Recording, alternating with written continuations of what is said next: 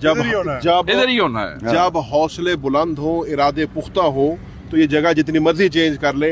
हमने आठ तारीख को दो बजे हर हालत में संजानी पे जलसा करना ही नहीं करना। कर हुकूमत की इंटेंशन क्या लग रही है आपको? अगर ये अचानक से वेन्यू चेंज कर दी गई हुकूमत हमारे लोगों को और ज़्यादा चार्ज कर रही है। इनकी मेहरबानी। हुकूमत की इंटेंशन तो आज नज़र आ गई जो उन्होंने कौमी असेंबली में बिल पेश किया था।